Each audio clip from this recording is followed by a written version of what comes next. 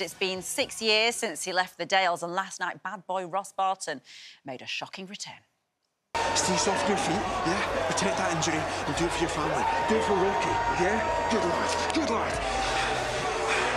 Oh my God.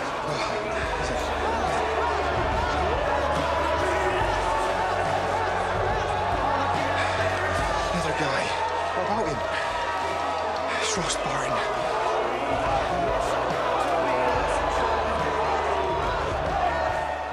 Amazing. Michael Parr, who plays Ross, joins me now.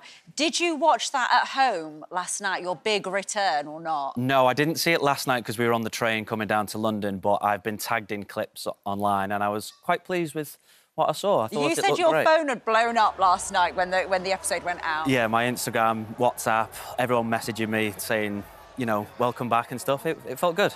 It felt good. Now, listen, are you set to cause trouble? I suppose the answer is obvious. Yeah, chaos, pure chaos. Yeah, it's been it's been good fun. Ross is such a fun character to play because he he just knows where to poke people and he's a bit of a menace and yeah, he, he can he, he can adapt to other people's storylines. You can put him into many other people's. Yes, he's got his know- fingers in lots of pies. He does. doesn't he? He does. Um, and we see your son in the episode, don't we? Could Ross be back for Charity?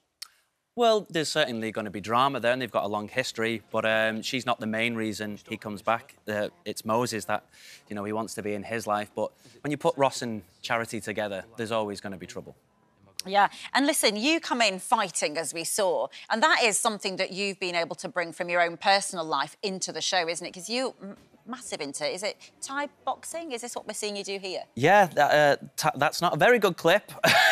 Look Better rubbish ones, there. better ones, please. Um, but yeah, it is my it is my favourite sport. I've been doing it for quite a long time. I'm not really into like team sports. I prefer like the one-on-one, like tennis or martial arts. But Muay Thai and training at the Bad Company Gym in Leeds, which is really close to the studios, it's it's perfect for me.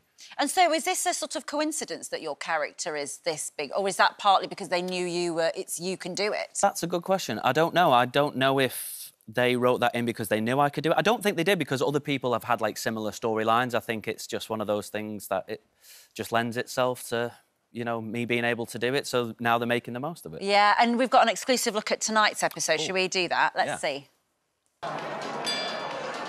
You're leaving here in a body bag. Right, no kicks, elbows, grappling, and no biting. Any of that, and you're out. What took you so long? Is that Ross? Now, knuckles up.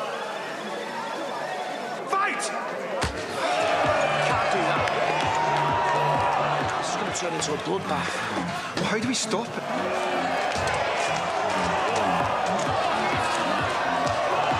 Oh, it's all a bit brutal, isn't it? Yeah, I didn't realise at the time, but it reminds me of a snatch with Brad Pitt when he when he gets Yes. headbutt before the fight starts. Yeah. Yeah. Listen, how does it feel to be back after six years away?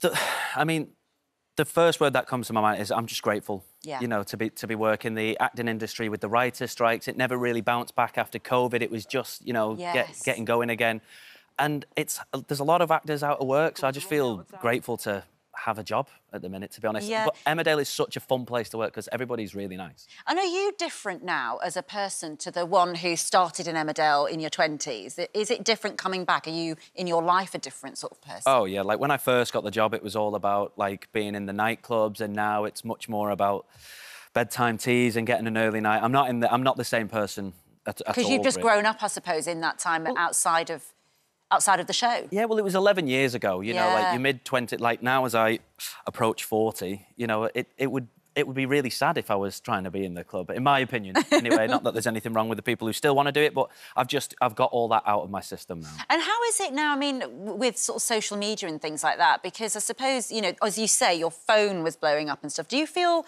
sort of that you want to immerse yourself back in that world again of being in social media and all of that sort of thing? Or are you a bit more sceptical about it? it's a it's a really hard relationship to navigate. I want to I want to be involved because one I think it's beneficial to my career to have a social media presence. I want to I don't want to ignore the fans of the show that Yeah. have helped you know boost my profile and you know and, and I never get anything negative online. It's very rare that I do. So I don't want to ignore people but then also the negative aspect is that I find myself being addicted to it and I you know I'm constantly searching for my phone and looking for validation from people that I, d- I don't really know.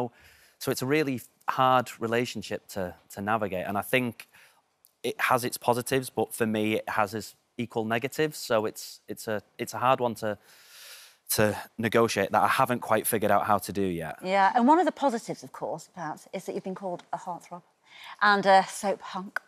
Yeah. Didn't you win an award for that? I did win an award for that, sponsored by Iceland in 2013. and long, that feels like a long time ago. yeah, it's it, it's weird because you know I never wake up and look in the mirror and go, oh yeah, heartthrob. so it's weird when other people call me it, but it's ultimately I'm very grateful and humble. Yeah, lovely stuff. And you're back in Emmerdale tonight at 7.30 on ITV1 and it is great to have you back on the TV screens on, a, on a regular basis. Good to see you.